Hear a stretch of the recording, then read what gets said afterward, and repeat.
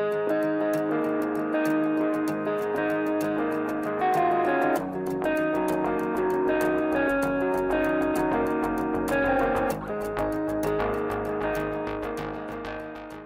Hello everyone this is S M Arif আপনাদেরকে স্বাগতম জানাচ্ছি এডি একাডেমির আরেকটি এপিসোডে সো আজকে আমরা ক্যারেক্টার ইলাস্ট্রেশন করব। তার মানে হচ্ছে শেপ দিয়ে কীভাবে একটি ফেস তৈরি করা যায়।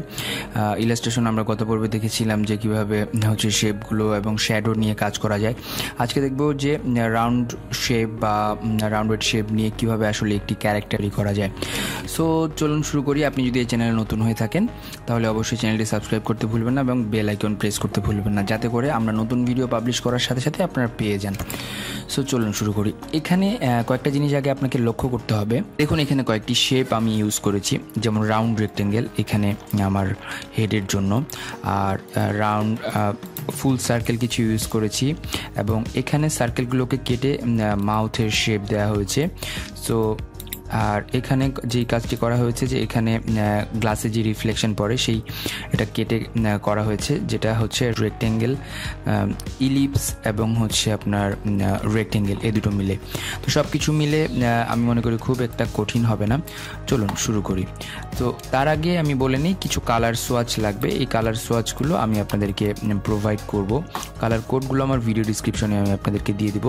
তাহলে আপনারা ইজিলি হচ্ছে এই কালারগুলো পেয়ে যাবেন। যদিও এখানে অনেকগুলো কালার আমি ইউজ করেছি, বিশেষ করে অল্প কিছু কালার আপনার প্রয়োজন পড়বে। এখন ফার্স্টে যে কাজটি করব, আমি কিছু শেপগুলো এবং অন্যান্য জিনিসগুলো এঁকে নিব। তার আগে হচ্ছে আমি রাউন্ড রেক্টেঙ্গেলে যাচ্ছি। সেখান থেকে রাউন্ড রেক্টেঙ্গেল নিচ্ছি লাইক এরকম। তো এটা জাস্ট রাউন্ড করে দিচ্ছি ফুল রাউন্ড এবং হচ্ছে আমি কালার নিচ্ছি এটা। আই পিকার দিয়ে আই প্রেস করে জাস্ট কিবোর্ড থেকে আই প্রেস করে আই পিকার দিয়ে নিচ্ছি। তারপরে সার্কেল নিয়েছি কয়েকটা। সার্কেলের মধ্যে হচ্ছে অরেঞ্জ কালার তার মানে আমি অরেঞ্জ কালার সিলেক্ট করলাম। আমি যদি ইলিপসে যাই, একটি বড় সার্কেল সো অল্টার প্রেস করে এটাকে কপি করি, একটু ছোটো করে দেবো অল্টার এবং কন্ট্রোল প্রেস করে তারপর হচ্ছে এটাকে আর একটু পাশে যদি নেই, এটাকে আর একটু ছোটো করতে পারব। সো আপনার যদি কন্ট্রোলগুলো জানা থাকে ইজিলি আপনি করতে পারবেন কাজগুলো। সো এইটাকে আমি এই সাইডে নিয়ে আসব এবং এটাকে পেছনে পাঠাবো। তাহলে control shift third bracket opening এবং এটার কালার হবে হচ্ছে আপনার অরেঞ্জ কালার সিলেক্ট করতে হবে আপনাকে দেন অরেঞ্জ কালার আমি ছোট একটি সার্কেল এখানে নিয়ে আসছি, যাতে করে এই অংশটুকু আমার কাভার করে। সো এটার কালারও সেম আই পিকার দিয়ে আমি আই প্রেস করে নিয়ে আসলাম। কিন্তু এটি হচ্ছে ফেসটি উপরে চলে আসবে, এটি নিচে যাবে।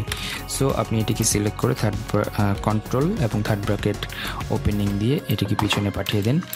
সো এখানে একটু আপনাকে অ্যাডজাস্টমেন্ট করে নিতে হবে। এটাকে একটু উপরে উঠে দিয়ে এটাকে জাস্ট একটু এভাবে অ্যাডজাস্টমেন্টটা করে নিতে পারেন। যাতে করে মনে হয় যে আসলে এটা চুলেরই আরেকটা অংশ। এবং এই অংশটুকু আমি কপি করে জাস্ট এই পাশে দিয়ে দিচ্ছি, যাতে করে আমার এটি মনে হয় যে এই পাশেও এই অংশটুকু এসেছে। এখন মেইন কাজ হচ্ছে আরেকটি, যেটা হচ্ছে আপনার চোখ এবং চশমা তৈরি করা। সো চোখ এবং চশমা তৈরি করার জন্য খুবই সহজ। আমি পিঙ্ক কালারটি সিলেক্ট করে রাখছি এবং জাস্ট ইলিপসে গেলাম, একটি ইলিপস আঁকলাম এবং হচ্ছে কন্ট্রোল সি কন্ট্রোল এফ আমি আরেকটি কপি করে জাস্ট ভিতরের দিকে আরেকটি আঁকলাম। তো আমি হচ্ছে পাথ ফাইন্ডার টুল দিয়ে, এখানে পাথ ফাইন্ডার টুলটি যদি না পান, তাহলে উইন্ডোজে গিয়ে পাথ ফাইন্ডার টুলটি পাবেন এবং এখান থেকে আমি মাইনাস করে নেব। তো আমার একটি অংশ হয়ে গেল। এখন একটি রেক্টেঙ্গেল নিব জাস্ট ছোট, এবং রেক্টেঙ্গেলটি শিপ ধরে জাস্ট একটু রোটেট করব। রোটেট করার পরে এই অংশে বসিয়ে দেব। দেওয়ার পরে দুটি সিলেক্ট করব। পাথফাইন্ডার টুলে আবার গিয়ে আমি জাস্ট এটিকে ডিভাইড করব। রাইট বাটন প্রেস করে আনগ্রুপ করে ফেলব এবং এই অংশগুলো ডিলিট করে দেবো। জাস্ট আর এই অংশটিকে শুধুমাত্র সাদা কালার দিয়ে দেবো।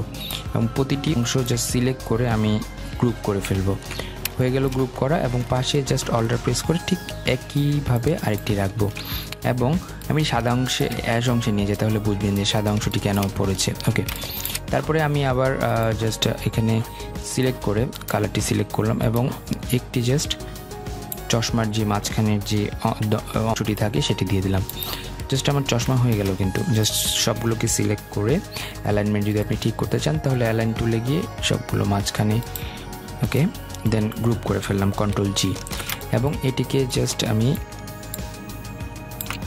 নিয়ে চলে আসলাম। তো তার আগে যে কাজটি করব, সেটা হচ্ছে যে কানের যে অংশটু, সেই সেই অংশটুকু তৈরি করব। সো জাস্ট এই কালারটি সিলেক্ট করে ইলিপস টুলে গেলাম জাস্ট একটি ছোট্ট একটি ইলিপস এঁকে নিলাম এবং ইলিপসের সাথে কন্ট্রোল সি এবং কন্ট্রোল এফ করে আরেকটি ছোট ইলিপস করে নিচ্ছি। যেটির কালার হচ্ছে আপনার পিঙ্ক কালার অরেঞ্জ কালার যেটি দিতে চান আপনার পছন্দ। সো এই অংশটুকু, এই দুটি সার্কেল আমি কন্ট্রোল জি মানে গ্রুপ করে ফেললাম এবং এটিকে একটু নিচে নামাবো এবং just control C control F এবং হচ্ছে শিপ প্রেস করে জাস্ট এই বরাবর নিয়ে চলে আসব। ওকে বরাবর চলে এসেছে। সো এই দুটি যদি আপনার সন্দেহ থাকে যে অ্যালাইনমেন্ট ঠিক আছে কিনা, তাহলে ঠিক করে নিতে পারেন। এটা একটু উপরে উঠবে আর এই স্কেলটি একটু নিচে নামবে। আসলে এটি উপরের দিকে চলে আসবে এবং এই সার্কেলটি এখানে একটু আসবে। তাহলে হচ্ছে এটা মিশে, মিলবে। সো তারপর থাকছে হচ্ছে মুখের কাজ। আমি তার তারপরে এটা এখানে নিয়ে আসছি। নিয়ে আসলাম। এটি আসলে চশমার অংশটুকু উপরে হবে। জাস্ট উপরের দিকে নিয়ে নিলাম। এরকম কিছুটা।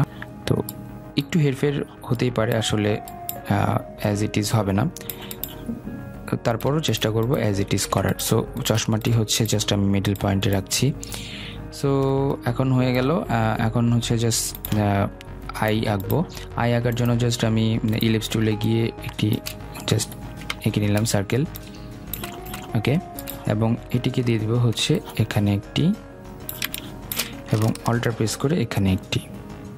সো প্রপার অ্যালাইনমেন্টটি ঠিক রাখার জন্য দুটি সিলেক্ট করব। করে অ্যালাইনমেন্ট ঠিক করব control G G for group এবং এটা মিডল অ্যালাইনমেন্টে নিয়ে আসব তাহলে ঠিক হবে। সো এটা হয়ে গেল। এখন হচ্ছে নাকের অংশটুকু। জাস্ট এই সেম জিনিস সার্কেলগুলো একটু ছোট হবে। সো অল্টার প্রেস করে একটু ছোট। অল্টার প্রেস করে এটিকে আরেকটা কপি করব। লাইক এরকম। এবং দুটিকে সিলেক্ট করে নেব। সিলেক্ট করে অ্যালাইনমেন্ট ঠিক করে নিচ্ছি কন্ট্রোল জি গ্রুপ করে নিচ্ছি এবং মিডিল অ্যালাইনমেন্ট করে দিচ্ছি। সো নাকের অংশটুকু হয়ে গেল, আপনি চাইলে এটিকে একটু বড় করতে পারেন, ছোটো করতে পারেন, আপনার ইচ্ছা। সো এখন যে অংশটুকু আছে, সেটা হচ্ছে মুখের অংশ। মুখের অংশের জন্য খুব বেশি কষ্ট করা লাগবে না জাস্ট ইলিপস নিলাম।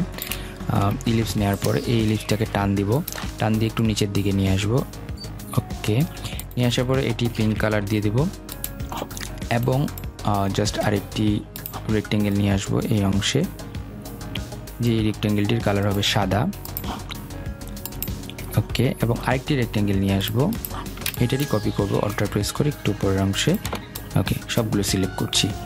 সিলেক্ট করার পরে জাস্ট মিডিল অ্যালাইনমেন্ট করে নিব, তাহলে আমাদের সুবিধা হবে। এবং পাথ ফাইন্ডার টুলে গিয়ে এটিকে ডিভাইড করে ফেলব আনগ্রুপ করে ফেলব। তারপরে জাস্ট এই অংশগুলো ডিলিট করে দিচ্ছি। বাড়তি যে অংশগুলো আছে, এই অংশটুকু লাগছে না। এবং নিচের অংশটুকুও লাগছে না। আমার হয়ে গিয়েছে এই কাজটুকু, মুখের অংশটুকু। কন্ট্রোল জি মানে গ্রুপ করে ফেললাম। জাস্ট এটিকে মিডিলে বসিয়ে দিলাম। ওকে দেখুন। তো এইভাবে আপনি হচ্ছে আসলে ক্যারেক্টার ইলাস্ট্রেশন করতে পারেন। যদি আপনাদের এই ভিডিওটি ভালো লেগে থাকে, তাহলে লাইক কমেন্ট এবং শেয়ার করুন। আর সবচেয়ে বড় কথা হচ্ছে, এই অ্যালাইনমেন্টগুলো একটু ঠিকঠাক করে নেওয়া আপনি অ্যালাইনমেন্টগুলো আপনার মতো করে ঠিক করে নিলে এই জিনিসটা আরও সুন্দরভাবে ফুটে উঠবে। সো আপনি বাসায় প্র্যাকটিস করছেন কি না এটি জানানোর জন্য আপনার জাস্ট প্র্যাকটিস কাজটি আমাকে পোস্ট করতে পারেন ফেসবুকে আমাকে এস এম এসে জানাতে পারেন ফেসবুকে এস এম এসে সো ভিডিওটি আপনারা যদি এ টাইপের আরও ভিডিও চান বা আপনারা কী ধরনের ভিডিও চাচ্ছেন আমাকে জানান। সো সব কিছু মিলিয়ে আমি মনে করছি যে আপনারা যদি আমাকে কোনো কিছু বলার থাকে, কোনো কিছু সাজেশন দেওয়ার থাকে, তাহলে ভিডিও কমেন্টে সেটি দিতে পারেন। আর ভালো থাকুন, ভালোভাবে ডিজাইন করুন। আমি S M Arif. Next tutorial পর্যন্ত বিদায় নিচ্ছি। হাফিজ।